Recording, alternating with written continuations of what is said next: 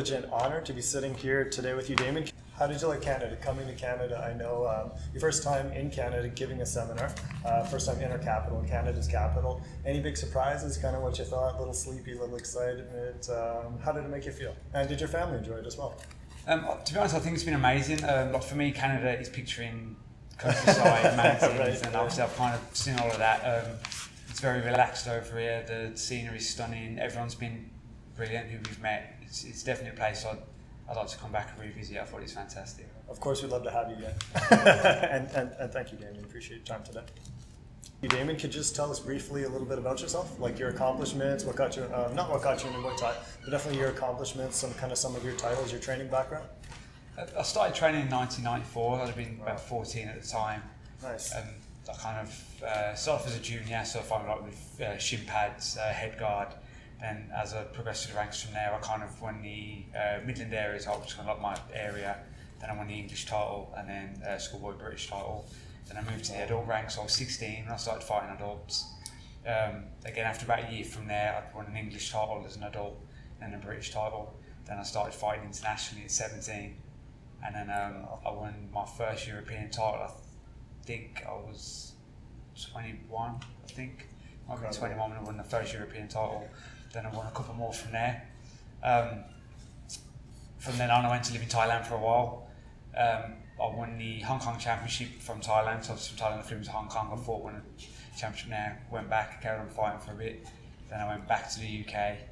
And then from there in the UK, I won uh, two world titles and a fourth European title.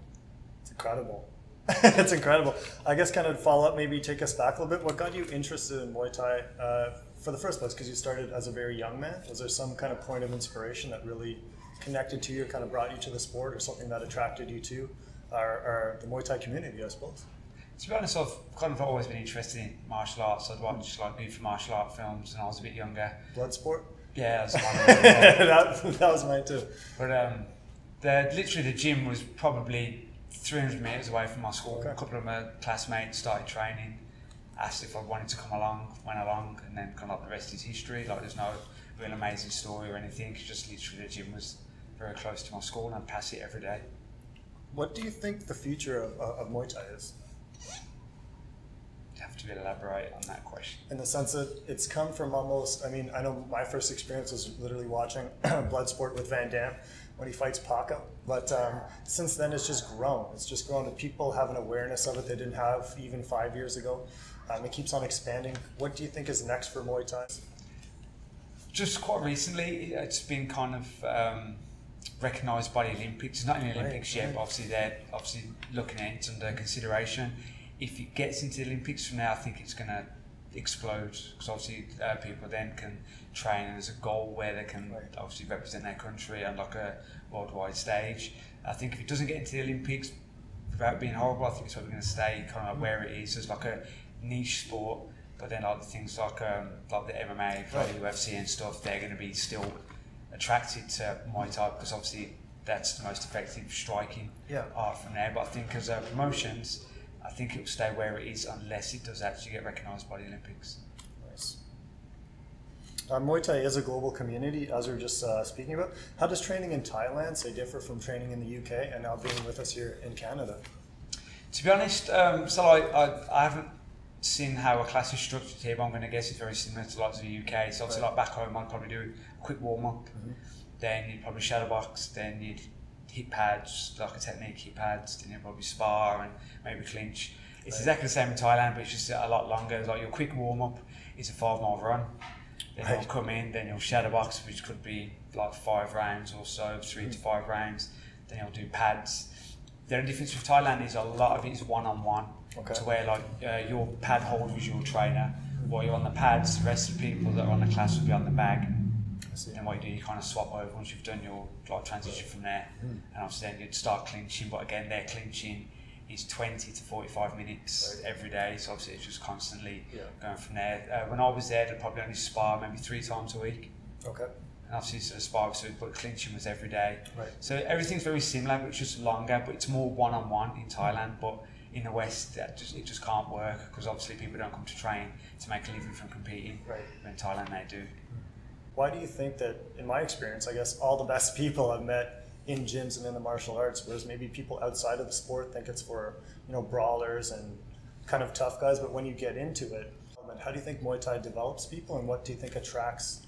I think when you people look to- at the sport. sorry, um, I think when you look at most um, combat sports, Muay Thai is probably one of the most um, uh, respectful. Because when you obviously look at boxing, there's a lot of trash talk. You know, a lot, lot- obviously that's the kind of sell the tickets. Sounds like the MMA now, it's a lot of trash talk, a lot of bravado. So obviously Muay Thai, it's because I think because of where it comes, like the heritage comes from Thailand. There is a lot more uh, respect involved. There isn't any um, like bad mouthing of each other. They're kind of you're in, the, you're in the same position as the other person. So obviously, Right. it's not about trying to make yourself above them. If that makes sense. Obviously, you want to It does. outdo them in the fight, but it's not about trying to make yourself feel bigger and better than what they are. I think as well because with a lot of the shows, a lot of it comes from friends and families, ticket sales. So obviously, Right. it's not about trying to get more and more and more people to come and just watch the fight. Because obviously, most of the time they've just, just like I said, they've sold it to people in the gym, their friends, family, and everything that way. So I think I'm waffling on a bit now, but I love it. yeah, but I think it, it is just um, like the I, I can't comment on people that do jiu-jitsu tournaments or Right. the wrestling stuff, but I'm going to assume that they're very respectful as well because of where they've come from and how it's not in the public eye as much. I think because of the other combat sports are in the public eye, that's why there's a lot of trash talking going on. It makes a lot of sense to me. A related point: What do you think Muay Thai has to teach uh, for younger people? People kind of coming up looking for themselves. For myself, when I went to live in Thailand, I was very much on my own. There wasn't, I didn't have any friends. I had acquaintances, and obviously most of them were, were Thai. Uh, being on my own, or being on your own, makes you think quite a lot. And obviously, I kind of like look back on my career at that time, Yeah. and probably the the smallest thing that I got from learning Muay Thai is actually learning how to punch and kick and knee. I would agree. Everything else is obviously like vastly important. Obviously, like your confidence, your goal setting, um, just being able to be around like different people. I think it's obviously it's, it's a big skill set to have that you can take in other areas of your life where you might have a, a driving test or you might have an exam coming up, and obviously the same skills that you kind of get from your training, not just in Muay Thai but in any martial art, Right. you can like transition into other aspects. I totally agree. What advice would you give to new people kind of coming up in sport? People, either maybe an existing athlete looking to compete in time, or someone more like the majority of us looking for that real kind of confidence and community, the chance to kind of shine and really come into themselves. What, advice would you give to some uh, new people coming into the sport? Obviously, the obvious one is obviously make sure you train hard, but obviously it's a about belief and intent. Okay, so obviously you have to kind of intend to do what you're going to do, and obviously you've got to believe in yourself in doing it as well. If you start kind of second guessing, then you're not going to be able to progress, and obviously that slight doubt will probably like hold you back. Mm. So you have, to, like I say, you have to go at it 100%. So that's what you're going to go for. Don't go half-hearted. It's a painful sport. If you go at it half-hearted, so obviously you're going to have to give it your all. What advice would you give to kind of new amateur fighters, maybe someone taking their first fight, to kind of address that little voice of doubt? And how do you uh, how do you deal with that? Like for me, because I've obviously I've competed so much, is obviously I still, if I was to do it now, I'd still get the same doubts now. But as I come in, I just kind of, no, that's not going to happen. This is what's going to, and I just kind of like shut it out and try and obviously think positive. Because what you have to think is, uh, say if you look at your your brain, your, your mind likes you, wants to protect you, so it gives you these doubts because obviously it doesn't want you to be put into that situation. Does that make sense? It Obviously does. trying to hold you back. So obviously it's just your mind trying to protect you. But obviously, you'll be fine. You know you'll be fine because you've been training hard. You know you're strong. You know you're fit. So you just got to tell that little voice, no, that's don't worry, that's not going to happen. This is what's going to happen. Obviously, then just kind of focus on the positives. And like when you do fight, try and visualize any aspect that you're going to get into, and visualize getting out of that scenario. So if you might think, oh, what if I get caught in the clinch? It doesn't matter because I can do this. What if I get stuck on the ropes? It Doesn't matter. I can do this. You know, like Right, just literally right. just So you can kind of go through maybe your worst case scenarios, understanding they're not worst case scenarios. You've actually trained for this. You actually have answers to that. So would your mental preparation kind of equal your physical preparation? Uh, just as much uh, fighting, if you think of it, is probably ninety percent mental and ten percent physical. Because obviously your body has to do what your brain tells it to. Right. So if you start second guessing yourself, and that person, your opponent, isn't, then Sure. it's going to be a tough night for you. I know you took a lot of chances to become a professional fighter. Um, there's no guarantees, and you know you always have to advance that forward. What advice would you give to somebody maybe struggling with their dream, maybe having a hard time, maybe thinking to quit? What advice would you give just to push a little harder, take a little further? So, from my own experience, where um, obviously I was already kind of like, well accomplished. Um, I'd fought for a world title in 2007, but I'd lost. Mm-hmm. If I'd have won that title, I probably would have retired at that point. Wow, isn't that amazing?